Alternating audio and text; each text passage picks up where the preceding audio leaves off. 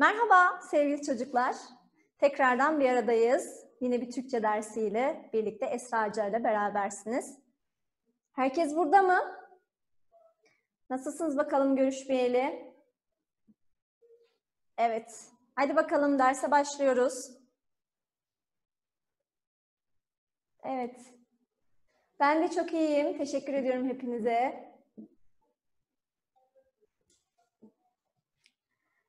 En son e, yazım kurallarını işledik sizinle. Geçen hafta bitirdik çocuklar biliyorsunuz. Bu haftada noktalama işaretlerinden devam edeceğiz.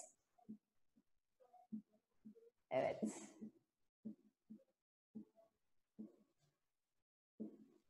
Evet, herkes burada. Hadi bakalım çocuklar. Şimdi noktalama işaretleri. Görüyorsunuz burada bizim sevimli birer e, noktalama işaretlerimiz var. noktalama işaretleri öncelikle niçin kullanıyoruz ona bir bakalım çocuklar. Noktalama işaretleri aslında bizim hayatımızın bir parçası. Ne yapıyoruz? Ee, ilkokula başladığınız andan itibaren ne yapıyoruz? Biz bunları kullanmaya başlıyoruz. Kullanıyoruz ve kullandıkça da ne işe yaradıklarını ne yapıyoruz? Öğreniyoruz.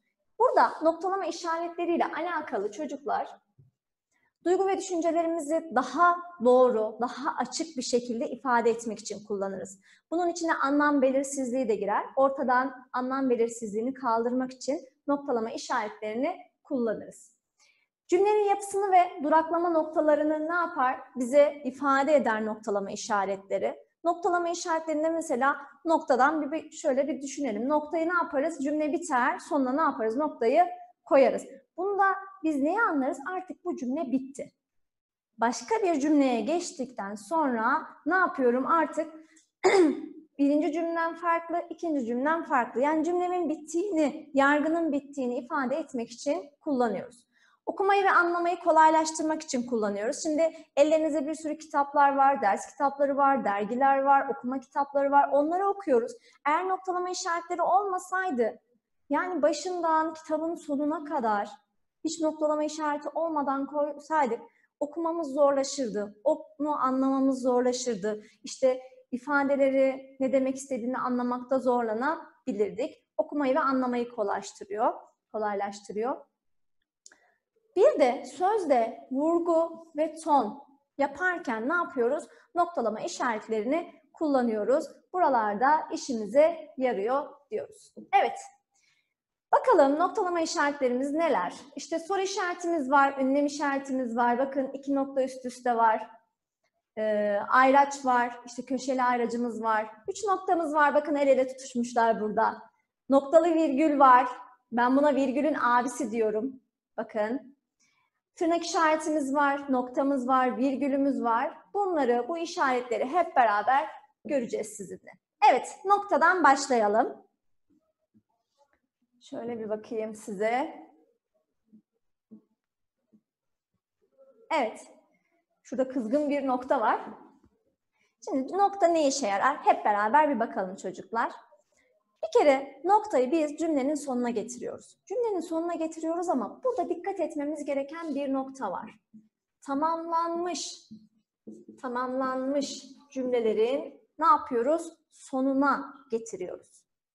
Tamamlanmış cümlelerin sonuna nokta konur. Türk Dil Kurumu 1932 yılında kurulmuştur. Bakın bu cümle bana bir yargı ifade ediyor. Türk Dil Kurumu'nun kaç yılında kurulduğundan bahsediyor. Cümle bitmiş mi? Bitmiş. Ne yapıyorum? Sonuna noktamı getirip koyuyorum. Saatler geçtikçe yollara daha mahzun bir ıssızlık çöküyordu. Şimdi bu cümlede yargı çöküyordu. Yargısı var. Yani cümlem tamamlanmış. Sonuna ne getiriyoruz? Nokta getiriyoruz. Şöyle olsaydı saatler geçtikçe yollara daha mahzun bir ıssızlık deseydi o zaman bana bir yargı ifade etmiş olmazdı çocuklar. Orada noktayı kullanmıyorum. Onun yerine 3 nokta kullanıyoruz. 3 noktaya geldiğimizde onu ifade edeceğiz. Yazıları yazmanıza gerek yok. Evet. Ne yapacaksınız? Ben konuyu bitirdikten sonra PDF'sini göndereceğim.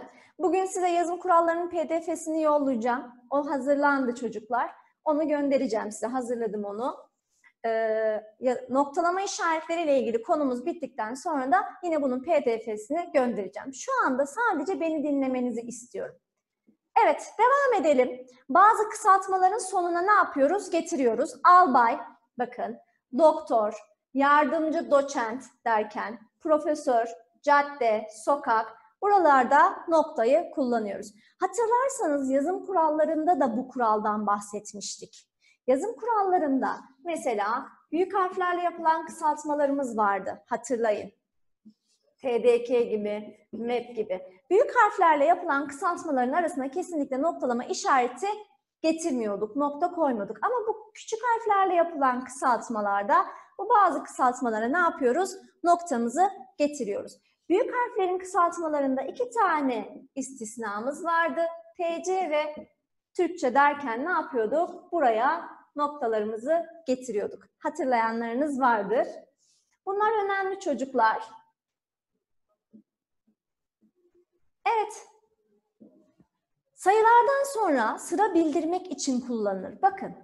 Kural bana ne diyor noktayla ilgili? Sayılardan sonra sıra bildirmek için kullanılır. 3. Üncü, 15. 2. Mehmet, 15. yüzyıl, 2. cadde, 20. sokak. Burada ifade ettiği şey sıra bildirmek. Sıra bildirirken ne yapıyoruz? Kullanıyoruz. Üçüncü dedik. Ben bunu başka türlü nasıl yazabilirim? 3, üncü şeklinde de yazabilirim. Yazım kurallarında bunu anlatmıştık size. Hatırlayın. Evet. Devam edelim. Aa, bir karikatürümüz var. Bakalım. Peşinde ne işin var senin, diyor bakın noktaya. Ben peşinden gelmezsen birinci olamazsın. Bir olur kalırsın. Haklı mı? Haklı değil mi? Sırasını bildiriyor çünkü. Dereceni ben belirtirim ancak kıymetimi bil diyor bakın burada nokta. Çok güzel. Sen de benim peşimden gel bari ikinci olayım demiş diğer noktaya. Ama diğer noktamızın bir hayali var. Keşke birincinin derecesini ben belirtsem diyor. Bu da hayalini kurmuş. Evet ne yapıyor nokta? Sayıların sırasını bize bildiriyor. Devam edelim. Arka arkaya sıralandıkları için virgülle veya çizgiyle ayrılan rakamlardan yalnızca sonuncu rakamdan sonra nokta konur. Bakın biraz önceki kuralımızda sırasını belirtmek için koyuyorduk. Bu sefer birazcık madde farklı. Arka arkaya sıraladığınız maddeleri ve ne yaptınız? Virgülle veya çizgiyle ayırdınız. Burada sadece sonuncu rakamdan sonra kullanılıyor. 3, 4 ve 7. maddeler şeklinde ne yapıyoruz? İfade ediyoruz. Buralara 3. 4. ve 7. maddeler şeklinde yapmıyoruz. Kural bana ne diyor? Arka arkaya sıralıyorsan rakamları, sayıları ne yapacaksın? En sonuncuya getireceksin diyor. Diğerine bakalım. 12 ve 14. yüzyıllar arasında derken 12. 14. demiyoruz. Bakın arka arkaya getirmiş. Araya ne yapmış? Bir çizgiyle ayırmış. Burada da yine ne yaptık? Sonuncuya noktamızı getiriyoruz. Anlaşıldı mı çocuklar bu? Evet harikasınız. Beşinciye bakalım. Bir yazının maddelerini gösteren rakam veya harflerden sonra getirilir. Burada maddeyi ifade ederken ne yapıyorsunuz? Kullanıyorsunuz. A maddesi, büyük harfle de yapabilirsiniz, küçük harfle de yapabilirsiniz A maddesi şeklinde. İki, ikinci maddelerimiz. B maddesi, bakın burada küçük harfle de yapmış, büyük harfle de yapabilir. Burada şuna dikkat edelim. A'ıncı madde değil bu. A maddesi. İfade ederken de ne yapacağız? Bu şekilde okuyacağız çocuklar. Evet, devam ediyoruz. Tarihlerin yazılışında gün, ay ve yılı gösteren sayıların, ar- sayıların arasına ne getiriyoruz? Nokta getiriyoruz. Şimdi bu tarihlerin yazımıyla alakalı yeri gelmişken bir tekrar edelim. Tarihleri yazarken ne yapabilirim? Bakın gün, ay ve yılın arasına ne yaptım? Noktalarımı getirdim. Bu yazım doğrudur. İstersem Roma rakamı da kullanabilirim burada olduğu gibi. İki yazım da doğru. Ama ne yapamam? 29, işte 05, 1453. Bu şekilde kısa çizgi getiremem. Bu hatalı olur. tarihleri yazarken ya nokta kullanacaksınız ya da hatırlayın neyimiz vardı bizim? Bakalım kim hatırlayacak? 05 işte 2020 dedik. Ne yaptık? Eğik çizgi. Evet hatırlayanlar var. Aferin çocuklar size. Eğik çizgimizi getiriyoruz. İstersen bu şekilde nokta kullanabilirim. İstersen bu şekilde eğik çizgi kullanabilirim. Bu iki noktalama işaretini kullanıyorum ama kısa çizgiyi ne yapmıyoruz? Kullanmıyoruz. Evet, devam edelim. Şimdi burada bir uyarımız var çocuklar. Tarihlerde ay adları yazıyla da yazılabilir. Bu durumda ay adlarından önce ve sonra nokta kullanılmaz. 29 Mayıs 1453. Şimdi biraz öncekinde 29.05.1453 yazmıştık. O kullanımda doğru. İstersen bu şekilde ayı yazıyla da yazabilirim. Ama burada dikkat etmemiz gereken nokta şu. Şimdi siz bunu böyle yazdığınızda araya ne yapamazsınız? Noktalama işareti getiremezsiniz. Bu şekilde yazarsak hatalı. Çocuklar sorularda sizi yanıltmak için bu şekilde kullanımlar getiriyorlar. Bunlar hatalı.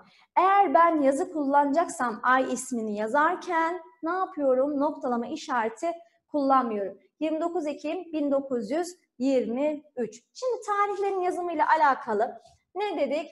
29 05 işte 1453. Bu doğru mu? Evet. Bu şekilde yazım doğru. Bir de nasıl yazabiliriz dedik? Burada da var zaten örneğimiz. 29 Mayıs 1453. Bu da doğru. Araya ama noktalama işareti getirmiyoruz. Bir de ne yaptık? Eğik çizgiyle 29 05 1453 şeklinde eğik çizgiyle de yazabiliriz. Bu da doğru. Tarihleri yazarken işte bu şekilde 1, 2 ve 3 farklı kullanımla kullanabiliriz çocuklar. Üçü de doğrudur. Şimdi e, yazım kurallarıyla noktalama işaretleri birbiriyle bağlantılı konular çocuklar. E, noktalama işaretlerinde yeri geldikçe yazım kurallarına da değineceğiz. Hatırlarsanız yazım kurallarında da ne yapıyorduk? Noktalama işaretlerine değiniyorduk. Bu iki konu birbiriyle bağlantılıdır ve önemli konularımızdan bir tanesidir. Evet, gelelim saat ve dakika gösteren sayıları birbirinden ayırmak için kullanıyoruz. Şimdi saatlerde tren 9.15'te kalktı derken ne yapıyoruz? Tek nokta kullanıyoruz. Bakın burada kullanmış. Ama sizin cep telefonlarınızda, ondan sonra dijital saatlerimizde, sonra böyle göstergeli saatlerde iki nokta getiriyorlar. Bu kullanım çocuklar hatalı. Karşınıza sorularda çıktığı zaman hatalı olarak onu ifade edeceksiniz. Toplantı 13'te başladı. Bakın ne yapmış? Tek noktayla yazmış. Bu doğru. Eğer ben bunu bu şekilde yazsaydım ne yapacaktım? Hata yapmış olacaktım. Şimdi buna dikkat ediyorsunuz. Özellikle özellikle sorularda karşınıza çıktığında iki nokta kullanıldığında öğrenci düşünüyor ki benim saatimde bu şekilde ya da cep telefonumda böyle ya da işte televizyonun saatine bakıyor orada iki nokta üst üste ama bu yanlış bir kullanım. Biz ne yapacağız? Doğrusunu öğreneceğiz. Ne yapıyoruz? Saat ve dakikayı ayırmak için tek nokta kullanıyoruz çocuklar. Anlaşılmıştır diye düşünüyorum. Devam edelim. Kitap, dergi ve benzeri künyelerinin sonuna getirilir. Şimdi künye ne demek? Künye. Böyle kolumuza taktığımız bir e, takıdan bahsetmiyoruz. Burada kitapların yazarının ismi, işte yayın evi, basım yeri, basım tarihi gibi bilgilerin içerisinde yer aldığı kısma biz künye diyoruz.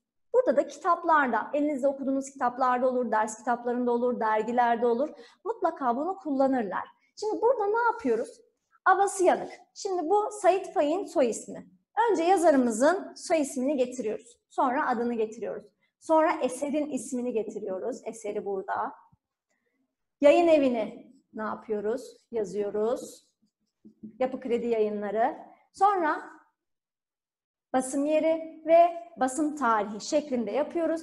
En sona bakın ne yaptım? Nokta koydum. Bu önemli. Karşınıza çıkar. Sorularda kullanıyorlar. Karşınıza çıktığı zaman künye neydi diye düşünmenize gerek yok.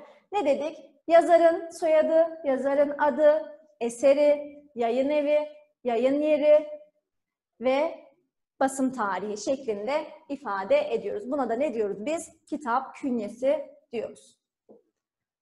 Evet, 4 ve 4'ten çok rakamlı sayıları ne yapıyoruz? Sondan böyle üçerli üçerli ayırıyoruz. Araya da ne getiriyoruz? Nokta getiriyoruz. İşte bakın 1000 yazarken 3 tane ayırmış, ne yapmış? Noktamızı getirmiş.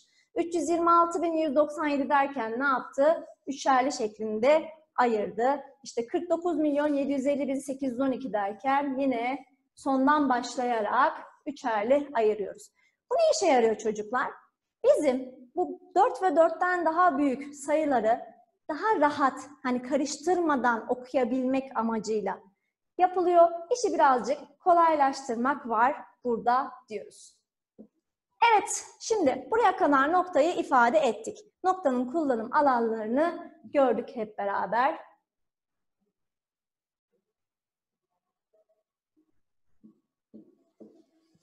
Gelelim virgüle. Bakın burada bir fena bir virgül var. Size e, fena fena bakıyor. Virgülü ne yapmıyorsunuz? Karıştırmıyorsunuz, tamam mı? Bunu daha sonra noktalı virgülü göreceğiz, iki noktayı göreceğiz. Biraz karıştırılabiliyor bazı öğrenciler ama sizler hiç karıştırmayacaksınız. Burayı iyi dinleyeceksiniz Esra öğretmeninizi. Daha sonra bunlarla ilgili bir sıkıntı yaşamayacaksınız. Şimdi virgül. Birinci görevi virgülün en çok kullanılan görevi birbiri arkasına sıralanan işte eş görevli kelime veya kelime gruplarının ne yapıyoruz biz arasına getiriyoruz. Aslında siz bunları biliyorsunuz. Zil çalınca kitabını, defterini, kalemini ve çantasını almadan dışarı çıktı. Ne yaptık? Bakın burada aralara virgül getirdik. Neden? Çünkü arka arkaya yaptığı bir şeyden bahsediyor değil mi? Kitabını, defterini, kalemini ve çantasını almadan dışarı çıktı. Peki bunlar eş görevli olarak nedir çocuklar? Hadi bakalım kim cevap verecek bana? Bu virgüllerin geldiği yer nedir? Eş görevli sözcük diyoruz ya. Evet, hadi bakalım kimden geliyor cevap? Virgüllerin geldiği kelimelerin görevi nedir? Okul eşyaları. Zeynep harikasın. Peki görev olarak nedir? Biz onların okul eşyaları olduğunu biliyoruz. Şimdi isim mi, sıfat mı, işte zamir mi, fiil mi, neleri ayırmış virgül? Onu soruyorum sizlere. Evet. Çok güzel. Cevaplar geliyor. İsim geldi. Yiğit, Zeynep. Aferin size Eren. Elif Azra, Mustafa, Mustafa Ercan, Ceylin, Ceyda. Evet, harikasınız Yağız. Şimdi, bunu ben neden sordum size? Çünkü noktalama işaretleriyle alakalı bazı soru tarzlarında diyor ki, aşağıdaki cümlelerden hangisinde virgül farklı görevdeki sözcüğü ayırmada kullanılmıştır? İşte üç tanesinde ismi ayırmış, bir tanesinde sıfatı ayırmış. Bu tarz yeni nesil sorularda karşımıza çıkıyor. Çünkü neden? Yeni nesil sorularda sizden bir konuyla değil, birden fazla konuyla ilgili sizi ölçmeye çalışılıyorsunuz. Orada da ne yapacak? Bunlar işinize yarayacak. Kitap, defter, kalem, çanta. Bunların hepsi birer isim. Ne yaptım? Bakın isimlerin arasına virgülü getirmiş oldum. Şimdi burada size bir şey daha söylemek istiyorum. Şurada V bağlacı kullanılmış değil mi? Peki bu bağlaç olmasaydı zil çalınca kitabını, defterini, kalemini, çantasını almadan dışarı çıktı. Burada bağlaç olmasaydı acaba buraya ne getirecektim noktalama işareti olarak? Yine virgülle devam edecektim çocuklar. Size burada bir bilgi vereyim. Bağlaçlar adı üstünde bağlama göreviyle kullanılmış ya kitabını, defterini, kalemini, çantasını. Buradaki V bağlacı çanta kelimesini diğer isimlerimize ne yapmış? Bağlamış, arkasından devam ettirmiş. Ne yapıyoruz? Bağlaçlarla ilgili bilmemiz gereken nokta burası. Yani bağlaç genellikle virgül yerine kullanılıyor. Tamam mı? Buna dikkat ediyorsunuz. Alttaki örneğe bakalım. Çalışkan, başarılı, saygılı ve sevgi dolu bir öğrenciydi. Hadi bakalım çocuklar bu örnekte Acaba virgül hangi görevli sözcükleri ayırmış? Elif Azra'dan hemen cevap geldi. Ceylin aferin size. Evet. Hulusi. Evet, Yiğit. Çok güzel. Aferin Zeynep. Zeynep görev olarak soruyorum ben. İsim mi, sıfat mı, zamir mi? Yağız, dikkat et. Evet. Evet Bilal, eş görevli sözcüklerin arasına geldik. Mehmet Emir, aferin sana. Evet, Zeynep şimdi oldu. Ceyda, Deniz, aferin çocuklar. Mustafa, Ayşenaz, Emirhan. Emirhan dikkat et. Aycan. Evet, şimdi burada çalışkan öğrenci, başarılı öğrenci, saygılı öğrenci, sevgi dolu öğrenci. Hepsi bir ismi niteledi mi? Evet. Ne yaptı burada virgül? Sıfatları ayırmada kullanıldı. Yani buradaki eş görevli kelimesinin karşılığı ne? Sıfatları ayırmada. Birinci cümlede isimleri ayırmıştı. İkinci cümlede ne yaptık? Sıfatları ayırdık diyoruz. Anlaşılmayan bir yer var mı çocuklar? Evet. Devam edelim o zaman. Sıralı cümleleri birbirinden ayırmak için kullanılır. Virgülün ikinci önemli görevi. Umduk, bekledik, düşündük. Umduk yargı bildiriyor. Ummak nedir? Ummak bir şeyler beklemek değil mi? Bekledik, düşündük. Burada tam bir, iki ve üç tane yargı var. Yani üç tane yüklem var. Bunlara biz ne diyoruz? Sıralı cümle diyoruz. Bir örnekte şöyle verelim. Ellerini yıkadı.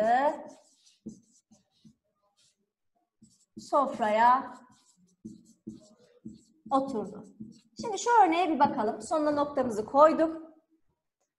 Ellerini yıkadı. Birinci cümle.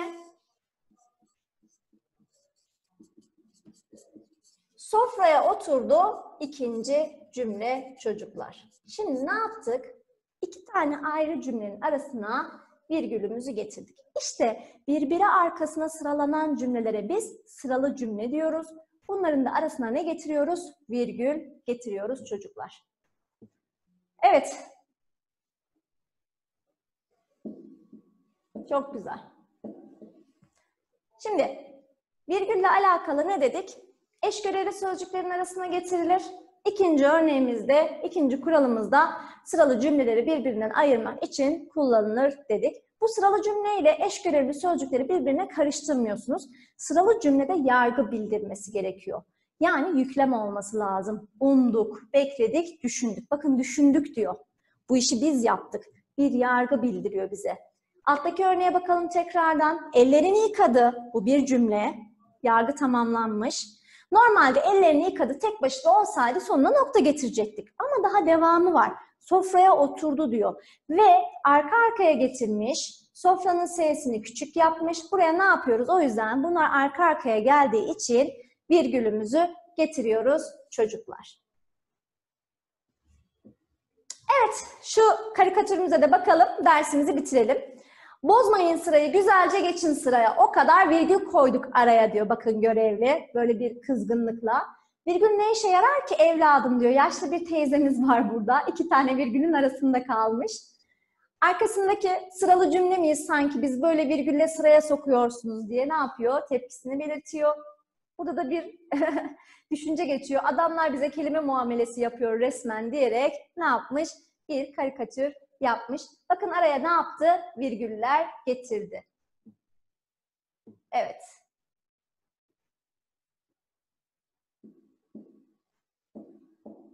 Evet, gerçekten güzel bir ders oldu çocuklar. Sizlerin de katılımıyla. Karikatürleri seviyorum ben. Akılda kalıcı olacak diye düşünüyorum. Evet Selin, e, bayağı bir e, sıralı cümle koymuşsun arka arkaya. Ellerini yıkadı, sofraya oturdu, yemek yemeye başladı ve sonra odasına çekildi. Gayet güzel bir cümle olmuş. Evet. Mehmet Emir, e, dediğin gibi virgül getirebilirsin hani bir sözcük, bir cümlede bağlaç olup olmadığını anlamak için. Bu da bir yöntemdir ama onun yerine bağlaçları daha iyi bilmek, onlara aşina olmak daha önemli. Evet, Çocuklar bugünlük dersimiz bu kadar. Sizleri seviyorum. Ee, bir sonraki dersimize kadar kendinize iyi bakın. Görüşmek üzere. Anlattığım yere kadarki olan kısmı kendi kaynaklarınızdan tekrar ederseniz güzel olur. Bir sonraki derste görüşürüz. Hoşçakalın.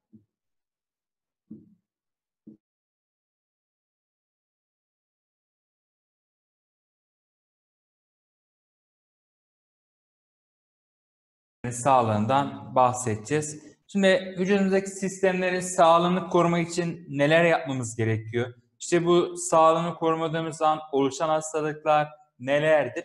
Bunlardan bir bahsetmiş olalım. Peki sistemlerin sağlığı diyoruz çocuklar. Daha önceki ünitelerimizde ve bu ünitemizin içerisinde vücudumuza yer alan bazı sistemlerden bahsetmiştik. İşte hangi sistemde bunlar? Neydi? Şöyle bir düşünürsek destek ve hareket sisteminden bahsetmiştik. Bunun yanında sindirim sisteminden bahsetmiştik. Dolaşım sisteminden bahsetmiştik. Değil mi? Solunum sisteminden bahsettik. Boşaltım sisteminden bahsettik. Ve denetleyici ve düzenleyici sistemden bahsetmiş olduk. Peki bunların her birini açıklarken de ne demiştik? Sistemlerimiz birbiriyle uyum içerisinde çalışmaktadır. Ve ne diyoruz? Sistemlerimizden herhangi birinin çalışmasında bir aksaklık olursa bu durumda diğer sistemlerimizde olumsuz olarak etkilenmektedir. Peki denetleyici ve düzenleyici sistemdeki bir aksaklık kasları ve dolayısıyla hareket sistemi ne yapmakta? Etkilemekte. Mesela sindirim sistemine baktığınız zaman çocuklar, sindirim sistemi neydi? Tükettiğimiz besinlerin, değil mi? İşte küçük parçalara ayrılıp hücre zarından geçebilecek kadar küçük hale gelmesiydi. Değil mi? Amacı buydu sindirim sistemi. Peki sindirim sisteminde herhangi bir sorun oluşursa ne gibi hastalıklar ortaya çıkabiliyor? Bunlara bir bakalım. Bu hastalıkların bazıları size görülmüş olabilir veya işte çevrenizde bu hastalıklara yakalanan kişileri tanıyor olabilirsiniz. Mesela ishal. Çocuklar sindirim sistemi hastalıklarından çok sık rastlanan bir hastalıktır. Nedir? Dışkının sulu ve yumuşak olmasıdır diyoruz. Buna ne neden olmakta? Tükettiğimiz gıdalar veya bakteriler neden olmaktadır diyoruz. Peki bir diğeri ülser. Bakın mide yüzeyinin zedelenmesi olayına biz ülser adını veriyoruz ve asitli yiyeceklerin tüketilmesi ne yapar? Ülsere neden olmaktadır çocuklar. Çünkü midemizin iç tabakasından sindirimi anlatırken bahsetmiştik ya. Mukussu tabaka vardı. Çünkü mide asidi, mide ölçüsü çok kuvvetli bir asidi bunun mideye zarar vermesini engelliyor. İşte bu mide yüzeyi zedelenirse ne yapar çocuklar? Ülser ortaya çıkar diyoruz. Peki bir diğeri ise gastrittir. Yani bakteri ve virüslerin neden olduğu bir hastalıktır gastrit hastalığı. Bir diğeri ise reflüdür yine yaygın olarak görülen bir hastalıktır. Mide asidinin yemek borusuna kaçmasıdır çocuklar. Ne yapıyor? Mide asidi çocuklar kuvvetli bir asittir demiştik. Yemek borusuna doğru geldiği zaman yemek borusuna bir yanmaya neden oluyor. Bu hastalarda biz reflü adını veriyoruz. Peki bir diğeri ise iç salgı bezi hastalıklarımız. Bakın iç salgı bezlerinde dolayı ortaya çıkan hastalıklarımız nelerdir? Devlik diyoruz. Bakın devlik. Şimdi nerede anlatmıştık biz bunu? Büyüme hormonunda anlatmıştık değil mi? Hipofiz bezinde. Büyüme hormonunun fazla salgılanması devliğin oluşmasına neden olur demiştik. Eğer büyüme hormonu az salgılanırsa da cücelik ortaya çıkıyordu. Büyüme hormonu nereden salgılanıyordu? Hipofiz bezinden diyoruz. Peki bir diğeri ise guatırdır çocuklar. Guatır ise tiroid bezinin şişmesidir. Ben şurada tiroid bezimiz neredeydi? Boğazımızda şurada gırtlağın tarafında iki yanında yer alıyordu. Tiroid bezinin şişmesine biz ne diyoruz? Guatr adını veriyoruz. Peki tiroid bezinden salgılanan hormon neydi? Tiroxin hormonuydu. Değil mi? Tiroxin hormonunun az salgılanması sonucunda oluşan bir rahatsızlık. Bu da iyot eksikliğinden kaynaklanır diyoruz çocuklar. Bir diğeri ise diyabet diye bir halk arasında kullanılan adıyla şeker hastalığıydı. Değil mi? Peki ne neden olmakta? İnsülinin yeterince salgılanmaması çocuklar. Peki hocam insülinin görevi neydi? İnsülinin görevi düşünürseniz çocuklar kan şekerini indiriyordu. Değil mi? Yani kan şekerini düşürme görevi vardı. İşte diyabet hastalarında çocuklar kan şekeri ne yapıyor? Yüksek çıkıyor. İnsülin hormonu yeterince salgılanmıyor. Bu hastalarda bunun için ne yapıyor? Ya işte şeker hapı dedikleri ilaçlar kullanıyorlar ya da insülin iğnesi vuruluyor. Peki insülin hangi iç salgı bezinden salgılanıyordu şöyle bir düşünürsek? Pankreas demiştik. Peki var değil mi? Hocam sindirim hastalıklarını açar mısınız? Fotoğraf çekeceğim de demiş. Şurada bunları size PDF olarak göndereceğim ben. Bugün Allah izin verirse gelecek. Hocam refle hemen geçer mi? Çünkü bende bazen oluyor. Hemen geri geçiyor. Evet bazen mesela hemen geçebiliyor ref çocuklar. Bende de görülüyor. Bazen de böyle uzun süre devam edebiliyor. Peki gelelim destek ve hareket sistemi hastalıkları. Şimdi destek ve hareket sisteminde görülen hastalıklarımız nelerdir?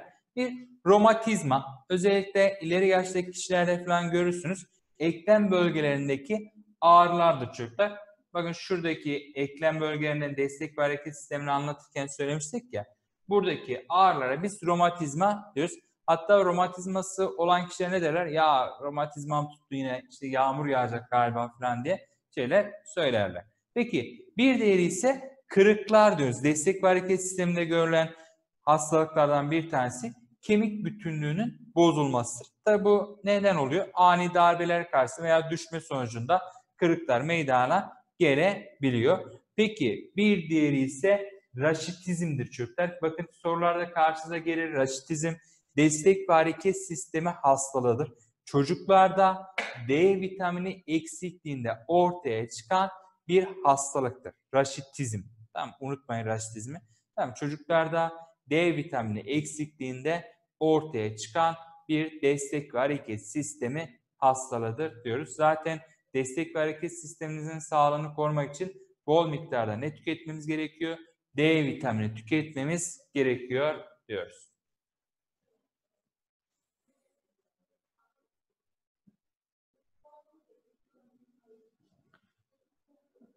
Esma Nur hocam anneannemde romatizma var sırtına binmeye çalışıyorum. Yapmayın. Eğer mesela yaşlılara çocuklar özellikle mesela yaşların ağır yükler taşımaması gerekir. Veya işte onlar sırtına falan binmeyin. Çünkü yaşlarda özellikle ileri, yaş ilerledikçe kemiklerin sağlamlığı ne yapıyor çocukta? Daha da azalmaya başlıyor. Onlar da mesela kemikler kırıldığı zaman da iyileşmesi daha uzun ne yapmaktadır? Sürmektedir çocuklar. Peki bir diğeri boşaltım sistemi hastalıkları, boşaltım sistemi. Peki boşaltım sistemi deyince ne geliyordu aklımıza? Böbrekler geliyor değil mi? Bakın bir tanesi böbrek yetmezliği diyoruz. Bakın böbreklerin görevini yerine getirememesi hastalığıdır. Boşaltım sistemi hastalığı deyince ne diyeceğiz? Böbreğin görevini yerine getirememesi. Peki hocam böbreğin görevi neydi de yerine getiremiyor diye düşünebilirsin. Böbrek çökte kanımıza süzerek kandaki zararlı maddelerin vücut dışına idrarla atılmasını sağlayan boşaltım sistemi organımızı. Peki böbrek görevini yerine getiremezse kandaki zehirli maddeleri ne yapamaz? Süzemez. E, kandaki zehirli madde miktarı ne yapar? Artar ve bu da kişide ölüme kadar ne yapabilir? Gidebilir. Peki böbrek yetmezliği olan insanlar ne yapıyor? Böbrek nakli yapılması gerekiyor çocuklar. Böbrek nakli yapılana kadar da diyalize bağlı olarak yaşamlarını devam ettiriyorlar. Peki bir diğeri böbrek taşı. Bu da yine halk arasında çok fazla görülen bir rahatsızlıktır çocuklar. Fazla mineral ve D vitamini alınması sonucunda oluşur. Çünkü böbreklerimiz çocuklar sadece zehirli maddeleri süzmüyordu hatırlarsanız.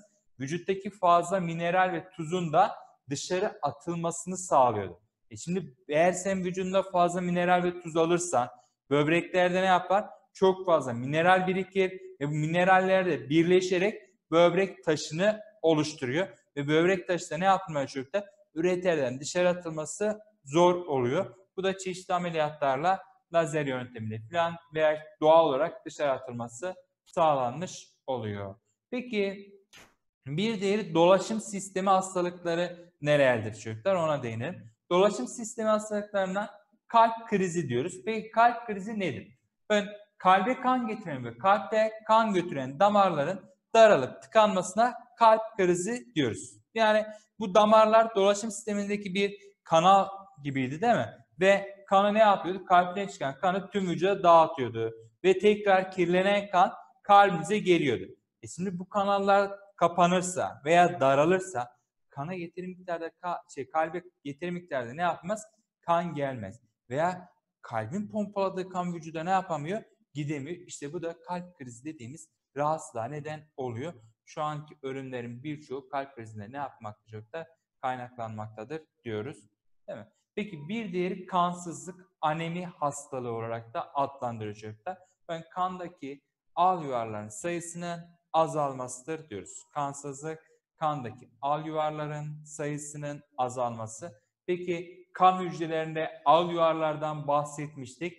Al yuvarların görevi neydi? Kana kırmızı rengini veren kan hücreleriydi ve aynı zamanda ne taşıyor çocuklar? Oksijen ve besin taşınmasını sağlıyordu. Peki bir diğeri ise tansiyon. İşte halk arasında yaygın olarak görülen hastalıklardan bir tanesi tansiyon hastalığı, hipertansiyon değil mi? Hiper yüksek tansiyondur. Ve kan basıncının artmasıdır. Tamam mı? Tansiyon hastalığı da kan basıncının artması olarak tanımlamış oluyoruz. Peki bir diğer sistemimiz sinir sistemi hastalıkları. Sinir sisteminde ise çocuklar menenjit, bakın yine önemlidir sorularda çok sık karşımıza geliyor. Beyin, şey, beyni ve omuriliği örten zarın iltihaplanması hastalığı, menenjit hastalığı. Yani beyni ve omuriliği örten zarın iltihaplanması hastalığıdır. Yine çocuklarda görülen bir hastalık olabiliyor. Bir diğeri ise felç. Bakın felç ise hareket sinirlerinin zedelenmesi durumunda ilgili organlardaki kaslara emir ulaştırılamıyor. Bu da ne diyoruz? Felç geçirdi diyoruz. Genellikle işte trafik kazaları sonucunda falan çocuklar ne yapıyor? Omurganın zarar görmesi sonucu omurganın içerisinde ne vardı? Omurilik vardı ve dolayısıyla burada felç meydana gelebiliyor. Buradaki merkezi sinir sisteminden giden uyarılar veya çevreden gelen uyarılar ne yapmıyor? Bağlantı sağlanamıyor. Buna da biz emirler iletilemediği için, ulaştırılamadığı için felç adını veriyoruz. Peki şöyle devam edelim. Şimdi bakın çocuklar Türkiye İstatistik Kurumu yani TÜİK'in verilerine göre Türkiye'de en sık teşhis edilen 10 hastalık yani en fazla görünen hastalıklar nelerdir diye baktığınız zaman bel ağrısı değil mi? Çok fazla görülen bir hastalık türüdür çocuklar. Değil mi? Özellikle bel fıtığı falan yine bakın burada da bel ağrısı demiş ama bel fıtığı olarak da söyleyebiliriz. Başka yüksek tansiyon çok fazla görülen bir hastalık tipidir. İşte kemiklerde kireçlenme bakın bel ağrısı destek ve hareket sistemi, yüksek tansiyon dolaşım sistemi hastalığı veya işte kireçlenme kemikler arasındaki eklemlerde meydana gelen kireçlenmeler destek ve hareket sistemi ile ilgili bir hastalık. Veya işte sinüzit çocuklar yine solunum yolu hastalıkları, burunda bulunan şu sinüs boşluklarında meydana gelen iltihaplanma. Veya işte diyabet, şeker hastalığı yine aynı şekilde iç salgı bezlerinde meydana gelen bir hastalıktır. Veya işte romatizma, yine çocuklar ne diyoruz? Romatizmada destek ve hareket sisteminde meydana gelen bir hastalıktır. İşte mide ülseri, sindirim sisteminde meydana gelen bir hastalık. Veya anemik, kansızlık, dolaşım sistemimizde meydana gelen bir hastalık. Bel ağrısı yani bel fıtığı olarak alabiliriz. Migren yine sinir sistemimize meydana gelen bir hastalıktır. Şu an migren hastalığı yine çocuklar nedir diyoruz? Bakın çok yaygındır diyoruz. Peki kemik kaynaşması ne oluyor hocam? Destek ve hareket sisteminin bir hastalığı. Evet kemik kaynaşması. Kemikler destek ve hareket sisteminde yer aldığı için çocuklar ne diyoruz? Destek ve hareket sistemi hastalığıdır dedik. Hastalığa. Berkay hocam benim ablamda vardı. Kris, kristal oluşturuluyor. Böyle böbreklere vuran bir cihaz var demiş. Evet, böbrek taşı için kullanılan bir yöntem. Hocam oraya koronayı da ekleyebilir miyiz? Çocuklar koronayı buraya ekleyiniz. Korona pandemi dediğimiz salgın bir hastalık olarak geçtiği için şu an onu ekleyemiyoruz. Peki gelelim bilinçsiz ilaç kullanımı. Şimdi hastalıklardan bahsettik. Güzel. Ve çocuklar bakın bu hastalıkların tedavisi için ne yapıyoruz? Doktora giderek işte doktorların tedavi yöntemlerini takip ediyoruz. Peki bizim ülkemizde en yaygın olan bir rahatsızlıkta bilinçsiz ilaç kullanımı.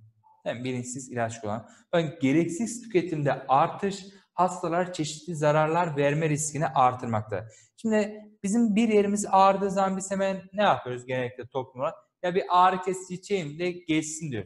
Ancak bakın doktor tavsiyesi olmadan, doktor reçetesiyle kullanılmayan ilaçlar ne yapabiliyor? Başka organlara, başka sistemlere de zarar verebiliyor. Peki hocam sadece bu vücudumuza verdiğimiz zarar mı var? Hayır çocuklar. Ayrıca bakın yüksek ilaç harcamaları Sosyal Güvenlik Kurumu'na ağır yük getirmekte. Hocam nasıl oluyor bu? Çünkü bizim ülkemizdeki tükettiğimiz o ilaçların birçoğu ne yapıyor? Yurt dışından satın alıyor çocuklar. Şimdi yurt dışından satın aldığımız için biz gereksiz yere eğer ilaç kullanırsak e ne yapıyor ülkemiz? Dışarıdan ilaç alıyor. E, bizim ülkemizin parası da başka ülkelere gitmiş oluyor. Veya ilacın hasta üzerindeki bakın psikososyal etkisi ve devlet bütçesinden oluşan ekonomik yük nedeniyle akılcı ilaç kullanımı ortaya çıkmıştır diyoruz. Mesela hasta üzerindeki psikososyal etkisi nedir diye düşünebilirsiniz. Mesela bazı kişiler vardır. Ne yapıyor? Aslında mesela kullandığı ilacın pek bir etkisi olmuyor. Ancak işte insan ne yapıyor? E ben şu ilacı içeyim de bir rahatlayayım. Değil mi? Aslında o ilacın hiçbir etkisi yok o hastalığın. Ama psikolojik olarak kendi ne yapmış? Buna hazırlamış. Ben bu ilacı içersem iyileşirim şeklinde yargılar meydana geliyor. Peki akılcı ilaç kullanımı, bakın doğru tedavi yöntemi seçildikten sonra kullanılan ilacın hastanın bireysel ihtiyacına uygun dozda, yeterli süre içinde ve en düşük maliyette verilmesidir. Özellikle şu an mesela antibiyotikleri düşündüğümüz zaman çocuklar artık antibiyotikleri insanlar gidip eczaneden rastgele ne yapamıyorlar? Alamıyorlar. Doktor reçetesiyle alabiliyorsun. Peki hocam bunu yasaklamadan önce nasıl oluyordu? İnsanlar rastgele ya boğazım ağrıyor ben gideyim bir antibiyotik alayım diye antibiyotik alıp içebiliyorlardı. E şimdi gereksiz yere kullandığın zaman da antibiyotikleri çocuklar ne yapıyor? Vücudumuzdaki antikorlar o antibiyotiğe alışıyor değil mi? Ve dolayısıyla o hastalık geldiği zaman da ona direnç kazanmış oluyor. Veya işte gereksiz direnç kazanmış oluyor ve hastalık daha kötü boyuta gidebiliyor. Peki ilaç harcamaları ülkelere göre değişiklik gösterse de sağlık harcamalarının önemli bir bölümünü oluşturmaktadır. Şu an sağlıktaki çocuklar harcamalarında büyük bir bölümünü ilaç harcamaları oluşturmakta ve eğer haberlerde falan dikkat ediyorsanız Sağlık Bakanlığı ara ara ne yapıyor? Yayınlıyor işte yurt dışından işte SSK'nın karşıladığı işte ilaçların sayısı şu kadar arttı, bu kadar arttı şeklinde ne yapıyor? Paylaşımlarda bulunmuş oluyor. Peki gelelim sigara ve alkol kullanımının zararları. Şimdi biraz önce sistemlerin sağlığını korumak için yapılması gerekenlerden bahsettik. Değil mi? Ve bunun yanında işte hastalıklardan bahsettik. Peki bunlara neden olanlar nedir? Çocuklar bunların sistemlerin sağlığını bozan en önemli nedenlerden bir tanesi de veya birkaç tane sigara ve alkol diyebiliriz çocuklar. Bakın sigara ve alkol gibi bağımlılık yapan maddelerin sindirim bozukluğu, bağırsak, böbrek, karaciğer, kalp ve damar hastalıkları, gırtlak ve akciğer kanseri gibi birçok hastalığa sebep olduğu araştırmalarla belirlenmiştir çocuklar. Bakın birden fazla sistemden bahsettik. Yani bunları kullanmak, sigara ve alkolü kullanmak senin birden fazla sistemine, bakın birden fazla sistemine ne yapmakta? Bozmakta çocuklar. Ben ayrıca bu alışkanlıklar görme bozukluğu ve dikkat dağınıklığına sebep olduğundan çeşitli kazaların da ortaya çıkmasına sebep olabilmekte. İşte alkollü araç kullanmak. Bakın ne yapıyor? Alkollü araç kullandığı zaman görme bozukluğuna, dikkat dağınıklığına neden olduğu için insan kaza yapıyor ve bakın artık tekerlekli sandalyeye mahkum kalıyor. Bakın bu tür alışkanlıklar merak, özenti ve arkadaşlar tarafından kabul görebilme duygularıyla başlamaktadır. Ergenlik ve sağlığında bahsetmiştik değil mi? Ergenlik döneminde özellikle bu alışkanlıklar başlıyordu. Kötü arkadaşlıklar buna neden oluyor demiştik. Peki tütün, alkol ve madde bağımlılığı gibi toplumu ve gençliğin beden ve ruh sağlığını tahrip eden bağımlılıklar yanında kumar, internet ve teknoloji bağımlılığı gibi gençliğe ve topluma zarar veren bütün zararlı alışkanlıklara da mücadele etmek gerekiyor çocuklar. Evet şu anda mesela şunu düşünebilirsiniz. Hocam teknoloji bağımlılığı da var. Evet çocuklar bakın teknoloji bağımlılığı ben internet teknoloji bağımlılığında ne yapıyor? Görme bozukluğuna neden olabilmektedir. Uzun süre telefonun başında kalmak, bilgisayarın başında kalmak, görme bozukluğuna, ruhsal bozukluklara, sinir sistemindeki e, tuşlara basıyorsunuz sürekli olarak destek ve hareket sistemindeki bozukluklara yine ne yapmakta? Neden olabilmektedir diyoruz. Yani bu bağımlılıklardan uzak durmamız gerekiyor diyoruz. Peki ilk yardıma gelelim. İlk yardım nedir? Nasıl yapılır? Çocuklar ilk yardım bakın kaza, hastalık, yangın, deprem ve benzeri tehlikeli ve ani durumlarda hastaya kesin tedavi öncesi, bakın kesin tedavi değildir ilk yardım. Bunu öncelikle şuna şu yargıya var. İlk yardım yaptığınız zaman siz bir hastaya kesin tedavi uygulamazsınız çocuklar. Bakın kesin tedavi öncesi olay yerinde uygulanan ilk ve acele işlemdir. Ve ilk yardım uygulaması, bakın ilk yardım uygulaması çoğu zaman bir kişinin hayatını ne yapmakta?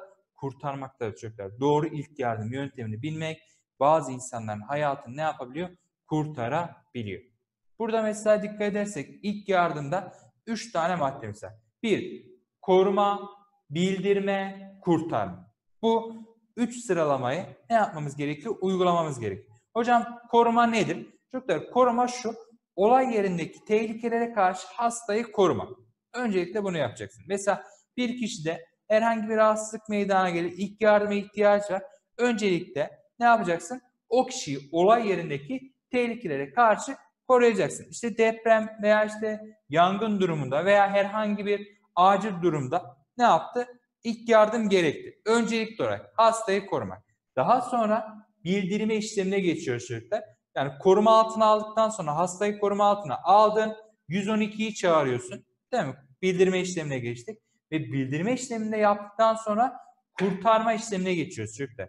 Yani ilk yardım uygulamasının yapılmasına sırayla yapılmalıdır. Yani burada ne yapacağız? Önce koruyacağız hastalığı şey kişiyi güvenli bir ortam alacağız. Sonra bildireceğiz. Sonra kurtarmaya gideceğiz. Yani şunu yapmayın. Ya ben önce bir kurtarma çalışması yapayım. Kurtarırsam ben kurtarırım. Kurtarmazsam bildirin 112 gelsin değil. Önce 112'yi arayacaksın. Daha sonra kurtarma aşamasına geçeceksin. Şimdi burada kalalım gençler. Bir sonraki dersimizde şunu yapacağız. Önce MEP kitabımızdan ya da önce buradaki uygulama ve organ bağışından bahsedelim. Daha sonra ise MEP kitabında tekrarımızı yapıp bu üniteyle ilgili sorularımızı çözeceğiz ve bugün ben size pdf'lerini göndereceğim. Ayrıca kolej grubunda olanlara ödev fasulyelerinizi göndereceğim. Görüşmek üzere. Kendinize iyi bakın. Evet sevgili gençler merhabalar. Kemal Hoca ben. Arkadaşlar geçen dersimizde 6. ünite etkin vatandaşlık konusuna giriş yapmıştık. Yönetim şekillerinden bahsetmiştik. Yönetim biçimlerinden bahsetmiştik. Demokrasinin temel ilkelerinden bahsetmiştik. Ee, konumuza şimdi kaldığımız yerden devam edeceğiz arkadaşlar.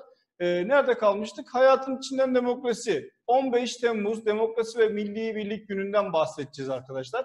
Ee, onlardan bahsedelim, devam edelim. Şimdi arkadaşlar biliyorsunuz 15 Temmuz e, bir darbe girişimiydi biliyorsunuz arkadaşlar. Çok şükür ki ne yaptı? Başarılı olamadı. Arkadaşlar bakın ülkemizde daha önce darbeler yapılmıştı. E, bu darbelerde arkadaşlar maalesef bakın gerçekten maalesef diyorum e, ülke hep geriye gider. Bakın darbe iyi bir şey değildir arkadaşlar. E, insanlar darbeyi niye? Yönetimi ele geçirmek için yapıyorlar. Bakın ele geçirmek. Bu söz bile başlı başına zaten yeterli oluyor. İnsanlar arkadaşlar seçimle gelmiş kişileri e, zorla e, görevden indirmeye çalışıyorlarsa darbe yapmış oluyorlar arkadaşlar. Bu da iyi bir şey değil. Düşünsenize arkadaşlar ben işte e, atıyorum sınıf başkanlığında ne yapıyoruz? Seçimle oy kullanıyoruz değil mi? Bir arkadaşımız sınıf başkanı oluyor. Hani kısaca bir örnek vereyim. Ama o arkadaşınız bir başkası dövüyor. Diyor ki kardeşim bundan sonra yapmayacaksın sınıf başkanlığını. Böyle bir saçma sayı var mı arkadaşlar? Olamaz. Sınıf başkanlığını oylarla gelmiş bir insan var orada. Oylarla gider arkadaşlar. Demek ki bizim için bu e, hani basit bir e, örnek olarak size anlatmak istedim. Arkadaşlar e, buradaki amaç ülke düzeni bozmak, anayasal düzeni bozmaktır darbe girişimlerinde ya da darbelerde. E, çok kötüdür arkadaşlar. E, inşallah e, milletimiz iki tane darbe gördü. Bir sonraki darbeye de engel oldu milletimiz arkadaşlar. Çok şükür ki engel oldu. Ne yaptık? Geriye gitmedik. Peki arkadaşlar şimdi e, tabii bu e, darbe girişiminin e, anları vardı. Hemen onları bir hatırlayalım 15 Temmuz'da. Arkadaşlar biliyorsunuz 15 Temmuz gecesinde darbeciler Boğazköy Köprüsü'nü e, yani yeni adı Şehitler Köprüsü olan ve önemli yolları ne yaptılar? Tanklarla kapattılar. Bakın arkadaşlar devletin tankıyla milletin tankın milletin tanklarını ne yaptılar? E, kendi amaçları için kullandılar. Biliyorsunuz TRT ile geçirdiler darbeyi haklı göstermeye çalışmışlardı arkadaşlar. E, hemen medyayı kullanmaya e, bastılar falan diyebiliriz. Cumhurbaşkanına suikast teşebbüsünde bulundular arkadaşlar. Bu da önemlidir. Bakın arkadaşlar bir ülkede e, herhangi bir siyasi partinin liderine ya da başkasına oy verebilirsiniz. Ya da sevebilirsiniz, sevmeyebilirsiniz. Ama bir insanın canına kastetmek ki özellikle de arkadaşlar Cumhurbaşkanı, bakın Cumhurbaşkanı ne demektir? Cumhurbaşkanı bir ülkenin başkanıdır arkadaşlar. Bizim adımıza yani aslında bizi temsil ediyor orada. E, demek ki Cumhurbaşkanı suikast girişimi ne demektir? Ülkeye suikast girişimidir arkadaşlar. E, Allah'tan e, yaşanmadı. E, inşallah böyle bir şey de yaşamayız. Türkiye Büyük Millet Meclisi'ni biliyorsunuz arkadaşlar Cumhurbaşkanı Kulliyesi'ni, polis karargahlarını, Milli İstihbarat Teşkilatı MİT binalarını uçaklarla bombaladılar arkadaşlar. Çok kötü bir şey. Bakın arkadaşlar uçak kullanıyoruz biz değil mi? Kendimizi savunmak için e, teröristlere karşı kullanıyoruz. Ama kendi e, ülkemizde kendi binalarımız, kendi uçaklarımız tarafından bombalanması kadar acı bir durum olabilir mi? Maalesef ol, oldu arkadaşlar. E, çok kötüydü biliyorsunuz. İşte e, polis karargahları basıldı, e, bombalandı, birçok şehit verdik. Bakın arkadaşlar e, şöyle düşünün. Hani işte 15 Temmuz için e, konuşuyorum. Birçok e, vatandaş işte polis olmuş, asker olmuş, ülkesi için görev yapacakken arkadaşlar beklediği ka- karargahta ülkesinin e, uçağıyla orada bombalanıyor. Ne kadar acı bir durum değil mi arkadaşlar? Bakın ortada bir düşman e, dediğimiz hani bir kuvvet bize saldırsa yine iyi. Tabii e, bize saldıranlar düşmandan daha kötüymüş. Demek ki insan kendi e, e, vatandaşına kendinden olan kişiye bunu yapmaz arkadaşlar. E, Allah bunların da cezasını zaten e, veriyor arkadaşlar diye söyleyelim. Yine arkadaşlar biliyorsunuz Cumhurbaşkanımızın çağrısıyla ki daha önce böyle bir şey olmamıştır. Halk e, dışarıya döküldü. Darbecilere ne yaptı arkadaşlar? Toplarla tüfeklerine karşı, tanklarına, uçaklarına karşı e, bir oldular, birlik oldular ve darbeyi engelledik arkadaşlar. Bu da bizim için çok önemli bir olaydır. Birlik ve beraberliğimizi gösterdik arkadaşlar. Hem yurt içine hem de yurt dışına biz birlik beraberliğimizi gösterdik arkadaşlar. Bakın burada şunu söyleyeyim arkadaşlar. Oy veren ya da vermeyen herkes vatanını milletini seven insan sokaklara döküldü. Bak burada particilik yapılmadı. Sen A partisine oy verdin, sen B partisine oy verdin denilmedi. Ne yaptı vatandaşlarımız arkadaşlar? Çıktı bu darbe girişimini engelledi. Çünkü biliyorlar daha önce başımıza geldi ne olacağını biliyorlar arkadaşlar. Her darbeden sonra ülkemiz 60 ve 80 darbelerini geçirmiştir. Ülkemiz 50 yıl geriye gitmiştir arkadaşlar. Çok kötü dönemlerdi. Bunu bildiği için halk ne yaptı? Buna engel oldu ki dünyada böyle bir şey yok arkadaşlar. Bakın hiçbir e, ülkede e, darbeye karşı halk böyle bu, bu kutsal direnişi göstermemiştir arkadaşlar. Onu da söyleyeyim. Bakın yine e, burada size ne yapalım? Fotoğrafları gösterelim. Bakın arkadaşlar bombalanan Türkiye Büyük Millet Meclisi. Şimdi şu 15 Temmuz'unu hiç bilmeyen bir insan tutsa da şu fotoğrafı ve altındaki yazıyı görse der ki kardeşim ülkeniz e, yabancı ülkeler tarafından işgale mi uğradı demiş. Yani bir e, ya da biri bu fotoğrafı gördüğünde arkadaşlar gerçekten e, ben olsam çok üzülürüm diye düşünüyorum. Çünkü hani ilk defa görsem diye düşünüyorum. Bir ülkenin arkadaşlar meclisinin geldiği hale bakın. Maalesef arkadaşlar bu olmaması gereken bir fotoğraf. Türkiye Cumhuriyeti'ne yakışmıyor arkadaşlar. Bakın darbecileri engelleyen halk var. Biliyorsunuz arkadaşlar tankın altına yatan insanlar var değil mi gitmesin diye. Bu çok önemli. Bu ne demektir arkadaşlar? Gözü kapalı ben vatan için, milletim için ölürüm mesajıdır. Ki e, demek ki biz vatanı, milleti çok seviyoruz. Bu da önemli. Arkadaşlar burada tabii şehit Ömer Halis Demir aslında seyrini değiştiren insan değil mi arkadaşlar? E, darbecilerin başındaki komutanı gözünü kart, e, kırpmadan e, gidip öldürmüştür arkadaşlar. Kendisi de maalesef şehit olmuştur. E, böyle kahramanların e, her zaman e, ülke olarak ihtiyacımız vardır. E, Allah ruhunu şad etsin arkadaşlar. Bu da önemlidir. Gerçekten çok önemli. Arkadaşlar e, hani şundan da örnek vereyim. Benim kendi kardeşim polis bu dönemde 15 Temmuz'da e, işte Ankara'da e, emniyet binasında o gün nöbetçiydi arkadaşlar. E, şöyle telefon geldi e, ya da daha sonra görüştüğümüzde de söyledi arkadaşlar. Diyor ki e, karşımızda e, asker e, kılıklı diyelim arkadaşlar. Üniforma var ve bize silah atıyor. Yani bir an tereddütte kaldım. Neden tereddütte kaldım? Çünkü e, insan şoka uğruyor dedi. Yani askerin polise silah sıkması kadar bir şey yok. İçim yandı dedi. E tabi kahramanca e, o da e, direniş göstermiştir e, kardeşim. Gurur diyorum arkadaşlar. E, çok önemli, çok kötü bir şey. E, hani karşıdaki insanı kendi vatandaşın e, sanmak kadar acı bir durum yok arkadaşlar. Hani terörist olsa direkt çıkarsın ki terörist zaten asker kıyafeti giymiş teröristler arkadaşlar. Maalesef birçok sıkıntı verdiler. Gördüğünüz gibi meclisin işte fotoğrafından da anlaşıldı üzere arkadaşlar. Bizim için gerçekten demokrasi günü diyebiliriz. Şimdi arkadaşlar kısaca şunu özetleyeyim. Neden bu darbe girişimini e, engelledik? Niye engelledik biliyor musunuz? Demokrasimize sahip çıkmak için engelledik arkadaşlar. Bakın bizim seçtiğimiz ya da insanların seçtiği insanlar ancak seçimle iş başından gider arkadaşlar. Memnun değilseniz ne yaparsınız? Bir sonraki oy başka birine oy verebilirsiniz. Bu sizin özgür hür iradenizdir.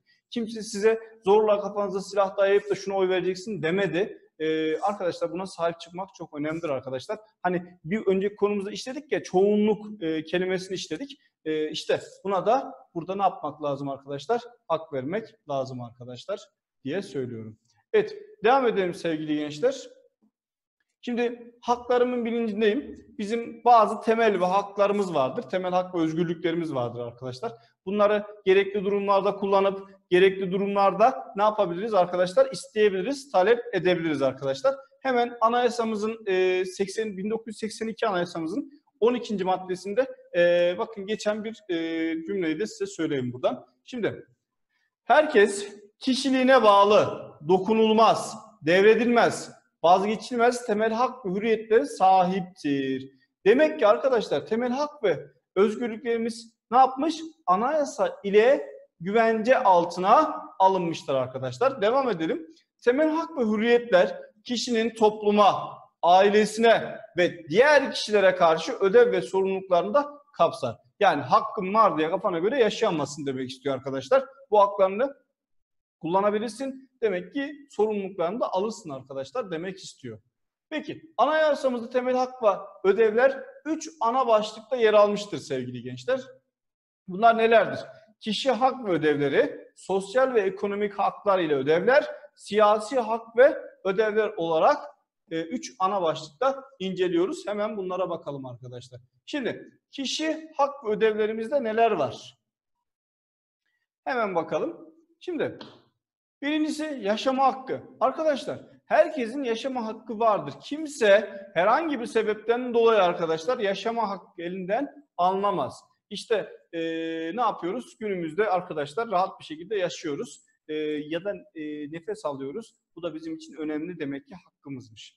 Kişi dokunulmazlığı hakkı vardır arkadaşlar. Tabii e, bakın bazı hakların e, bazı durumlarda e, kısıtlanabileceği olaylar vardır. Bunu hemen söyleyeyim. Mesela şimdi bizim e, göreceksiniz şurada yerleşme ve seyahat hürriyetimiz var değil mi? İsteyen istediği yere rahat bir şekilde gider yerleşebilir ve seyahat edebilir. Ama işte virüsten dolayı ne yaptı? Kısıtlandı. Demek ki bakın kişi yani hak ve ödevlerimiz bazı durumlarda kısıtlanabilir. Savaştır, olağanüstü durumdur, hastalıktır, salgındır, tehdittir gibi durumlarda kısıtlanabilir. Bunu da unutmayın soru çözerken aklınızda olsun.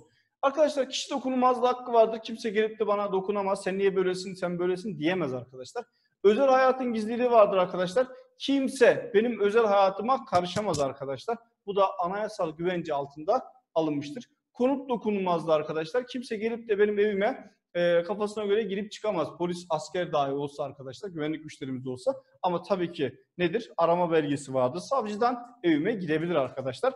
E, o da zaten e, normal e, vatandaşlar için böyle bir şeyde söz konusu olamaz. Değil mi? Sıradan bir vatandaş, e, vatanını milletini seven, e, vatanı milletin için e, kötü şeyler düşünmeyen insanlar için böyle bir şey zaten söz konusu olamaz.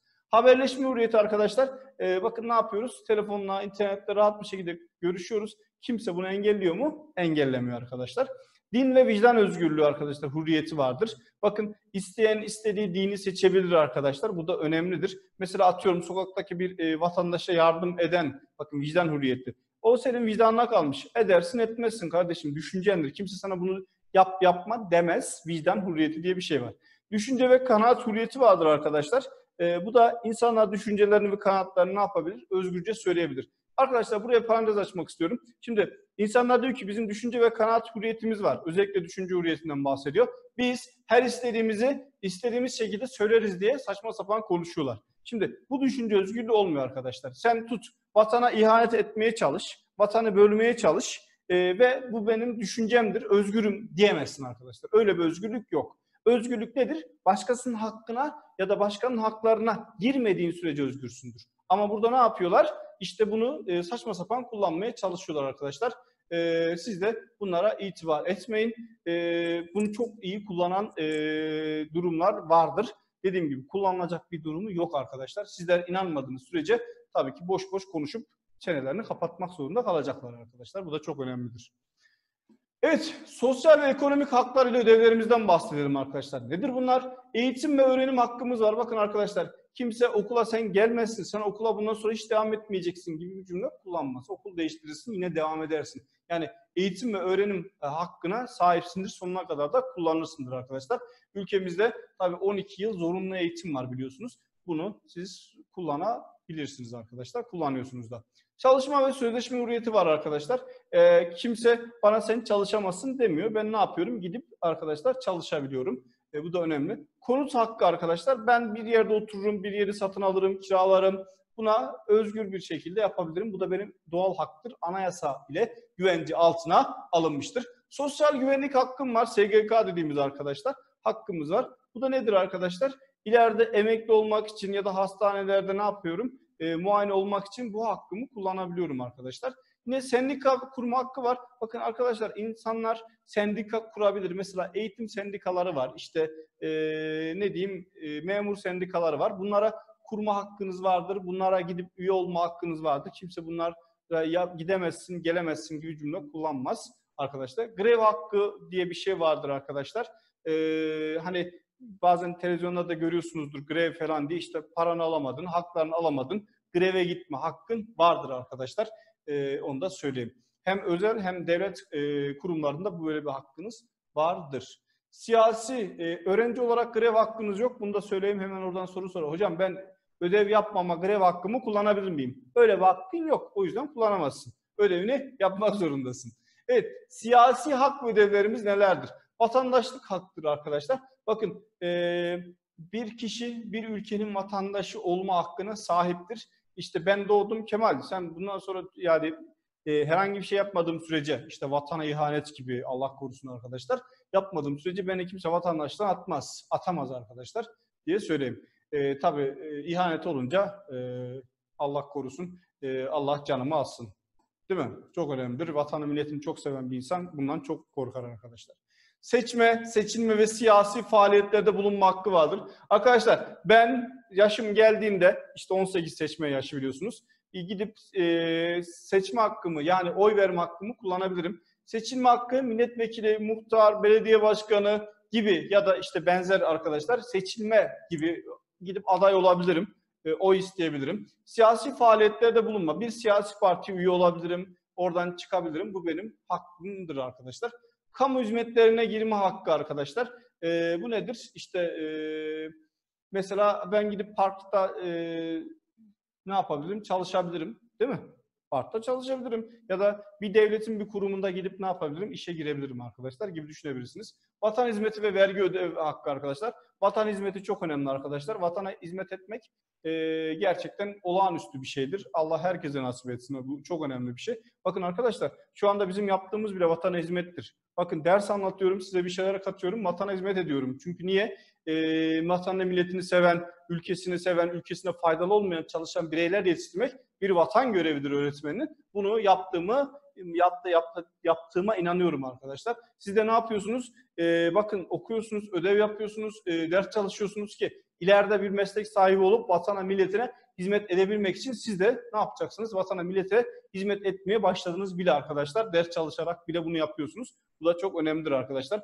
E, vatana hizmet sadece çalışmak değil, olanı da korumak da çok önemlidir arkadaşlar. Bir vatan hizmetidir değil mi? Mesela belediye park yapmış, sen onu koruyorsan, düzgün kullanıyorsan yine vatana hizmet ediyorsundur. Ama kırıp döküyorsandır, vatan e, malına zarar veriyorsundur. Bu çok önemli arkadaşlar. Dilekçe ve bilgi edinme hakkımız var bizim arkadaşlar. E, ne yapıyoruz? Biz e, bize söylenmesini istediğimiz ya da bizi ilgilendiren bir konu hakkında dilekçe yazarak bilgi edinme hakkımıza sahibiz arkadaşlar. Bu dilekçemizi yazdıktan sonra bize belli bir e, gün aralığı işte bazı kurumlarda 15-30 çeşitli şartları var ya da 45 gün içerisinde e, ne yapıyorlar? Bilgi gönderiyorlar arkadaşlar. Çok önemli. Yani devlet vatandaşa bilgi veriyor. Vermek zorunda. Vergi ödevi arkadaşlar. Şuraya es geçtim unutmayın. Bakın arkadaşlar her vatandaş vergisini ödemeli. Vergi ne demektir? Ülke kalkınmasını, ülkenin ihtiyaçlarını karşılamak için vergi çok önemlidir arkadaşlar. Ha, şunu söyleyeyim. Buradan e, vergi çalanlar, vergi kaçıranlar vatan hainidir arkadaşlar. Niye? E, burada bakın arkadaşlar e, aynı zamanda hak yerler. Nasıl hak yerler? Bunlar arkadaşlar e, ülkenin alması gereken bir hak. Herkesin e, gelirine göre vergi alınıyor biliyorsunuz arkadaşlar. Bunu vermezseniz, kaçırırsanız, katakulle yaparsanız vatan hainisinidir. E, haram yersiniz arkadaşlar. E, inşallah kimse yapmıyordur. E, bu da çok önemli. Çok çok çok çok önemli. Kul hakkıdır. Başkasının hakkına yiyorsunuz. Ülkede tüyü bitmemiş e, çocukların e, burada haklarını çalıyorsanız kusura bakmayın arkadaşlar. Ne vatandan ne milletten bahsedersiniz. Kulak yersiniz. Allah da kulak yerini affetmez arkadaşlar. Biz de affetmeyiz. Çok önemlidir. E, ülkemizde arkadaşlar vergi kaçakçılığını önlemek için tabii ki maliye e, çok uğraşıyor. Umarım insanlar e, gerçekten e, insanlıklarını yapıp vergilerini kaçırmazlar arkadaşlar. Katakulle yapmazlar devlete karşı. Buradan sosyal mesajımızı da verelim arkadaşlar. Tabii tüm bu haklar içinde en temel hakkımız nedir dediğimizde yaşam hakkımızdır arkadaşlar. Yaşam olmadan diğer haklarımız olsa ne, olmasa ne gibi düşünebilirsiniz. Bizim için de bu hak önemli bir haktır. Arkadaşlar bakın e, bu haklarımızı işledik. Kişi hak ödevleri, sosyal ve ekonomik hak ödevleri, siyasi hak ödevler. Arkadaşlar bunlar bize veriliyor ama bir sorumluluğumuz var. Yani işte e, dediğim gibi e, benim haberleşme hakkım var ama tutup da vatanı milletini satacak bir görüşme yapma hakkım yok arkadaşlar. Bu çok önemlidir. Demek ki bir sorumluluğu var. Sana hak veriliyorsa bu haklar çerçevesinde bunu iyi niyetli bir şekilde kullanman lazım arkadaşlar. Kötü niyetli kullanırsan başın ağrır tabii ki. Onu da söyleyelim arkadaşlar. Ee, kadın ve toplum konumuz var arkadaşlar. Ee, buraya e, yetişmeyebilir. Ben şöyle yapayım az zamanımız kaldı. Şunlarla ilgili şöyle bir tekrar edeyim arkadaşlar. Konuyu da bitirmiş olalım. Orada e, yarım kalmasın kadın hakları. E, çünkü hangi dönemde e, kadına haklar verildi, ne, bu haklardan bazıları nelerdir işleyeceğiz. Yetişmeyebilir. O yüzden arkadaşlar şöyle 15 Temmuz'dan genel bir özet yapayım. E, kişi hakkı ödevlerinden bir özet yapayım. Dersimizde zaten son 2 dakikası falan kalmış. Oradan bitirelim arkadaşlar. Şimdi arkadaşlar hani dedik ya 15 Temmuz Demokrasi ve Milli Birlik Günü aslında darbe girişimiydi biliyorsunuz arkadaşlar. Darbeler bir kez daha söyleyeyim kötüdür arkadaşlar iyi bir şey değildir. Niye? Çünkü e, aslında darbe nedir biliyor musunuz arkadaşlar? Halkın seçtiğine şunu demek istiyor aslında bak halka demek istiyor. Siz seçtiniz siz seçemezsiniz. Sizin seçme yetkiniz yok demek istiyor aslında. Burada size yapılmış bir hakarettir arkadaşlar. Yani ben birine oy verebilirim. Değil mi? Ya ülkenin arkadaşlar yönetimi bakın kolay değildir. Şimdi insanlar insanlara eleştiriyor ama ev geçimini dahi bakın e, sağlarken ne yapıyoruz? Zorlanıyoruz. İşte şuraya para vereceğiz, buraya para vereceğiz, şunu da alacağız, bunu vereceğiz, şuradan gideceğiz, buradan gideceğiz. Şimdi ülke yönetimi kolay değil. Herkesi de memnun edemezsiniz arkadaşlar. Dört dörtlü kimseyi memnun edemezsiniz. E, ne yapmamız lazım? O zaman çoğunluğa uymamız lazım arkadaşlar. E, işte tutup da e, ben sevmediğim, istemediğim kardeşim beni yönetmesin ya da ben başa geleyim diyorsan da bunu darbe yolla değil. Ne yaparsın? Seçime girersin. İnsanlardan o istersin arkadaşlar. E, o şekilde girersin. Ama böyle işte e, fütursuzca, e, böyle beyinsizce e, hareket edersen arkadaşlar halk da karşına dikidir böyle arkadaşlar. E, bakın Türk tarihinde ve dünya tarihinde bir ilktir arkadaşlar. Halkın darbecilere karşı e, dimdik ayakta durması ve onları engellemesi çok önemlidir. Tabii bunu e, yaptığımız bazı kahramanlar sayesinde de yapıyoruz. Bizim için önemliydi. İnşallah bir daha yansıtmasınlar arkadaşlar. Evet, dediğim gibi temel hak ve hürriyetlerden bahsettik. Kişi hak ödevlerimiz, sosyal ve ekonomik hak ödevlerimiz, e, siyasi hak ödevlerimiz var arkadaşlar. Bunlar anayasa ile güvence altına alınmıştır arkadaşlar. Kimse bunları yapmamızı engelleyemez ama bizim de bunlarla bir sorumluluğumuz vardır. Yani kafamıza göre ben özgürüm deyip de elimize e, silah alıp herkesi öldüremeyiz. Yaşam hakkını ihlal etmiş oluyoruz bakın. Sorumluluğumuz vardır arkadaşlar.